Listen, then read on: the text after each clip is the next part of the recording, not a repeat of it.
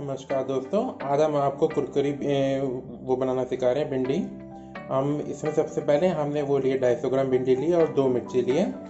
अब हम गैस जलाएँगे। देखिए गैस जला रहे हैं हम। हम अब इसमें दो बड़े स्पू, सर्विंग स्पून हम ले रहे हैं ऑयल के। हम इसमें सरसों का ऑयल यूज़ कर रहे हैं।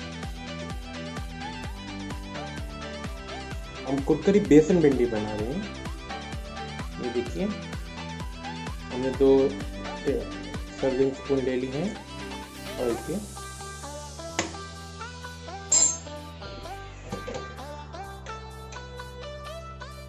अब हम डेढ़ सर्विंग स्पून लेंगे बड़े बेसन के।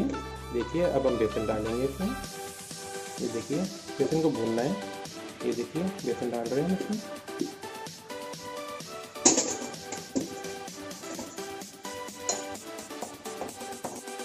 ये बेसन हमें तब तक भुनना है ये वाला बेसन, जब तक ये लाल ना हो जाए। ये देखिए, अब हम इसको लाल कर रहे हैं। ये हमारे एक दोस्त की आई रिक्वेस्ट कि आप कृपा करके हमें बेसन की भिंडी, कुरकुरी करके हमें वो करें, सिखाएँ। उनका नाम है सतीश चंद्रा जी। ये देखिए, हमारा बेसन भून के तैयार हो गया है। अब हम इसमें आधी चम्मच हल्दी डाल रहे हैं। वन टेबल मतलब आधी चम्मच इसमें फिर हमने थोड़ा सा गरम मसाला डाला है, डाल रहे हैं। धनिया हम डाल चुके हैं। लाल मिर्च भी हम डाल रहे हैं थोड़ी सी मैं ज़्यादा नहीं खाता हूँ, इसलिए मैं थोड़ी सी डाल रहा हूँ। बाकी आप अपने स्वाद अनुसार, जैसे भी आपको डालना चाहे, वो डाल सकते हैं।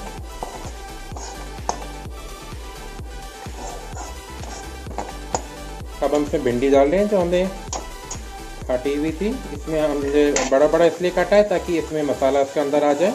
ये देखिए। अब हम स्वाद अनुसार नमक भी डालेंगे, जो हम डालने जा रहे हैं। ये देखिए, हमने स्वाद अनुसार नमक भी डाल दिया है। और हम इसको हिला रहे हैं।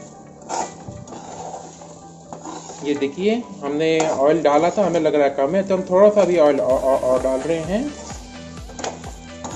थोड़ा सा सरसों का ऑयल अभी डालेंगे, देखिए। तेल भी आप डाल सकते हैं। अगर आपको ज़्यादा ऑयली थोड़ा सा पसंद है तो ऑयल आप थोड़ा सा डाल सकते हैं। हम थोड़ा सा डाल रहे हैं क्योंकि हमें कम लग रहा था। ये देखिए हमने ऑयल डाल दिया है सरसों का अब हम इसको हिलाएँगे। ये देखिए हिल रही है।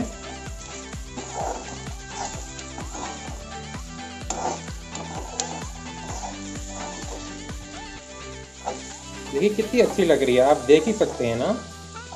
फ़र्स्ट क्लास लग रही है। अभी कच्ची है, अभी हम पकाएँगे इसको, देखिए।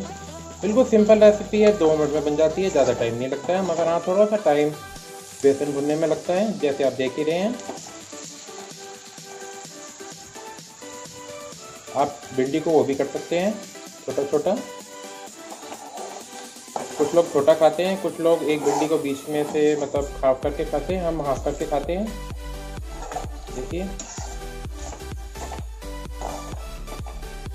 कितनी टेस्टी लग रही है। मैं तो मन कर रहा है अभी भी इसी मैं बस बनाऊँ और झटपट खा जाऊँ।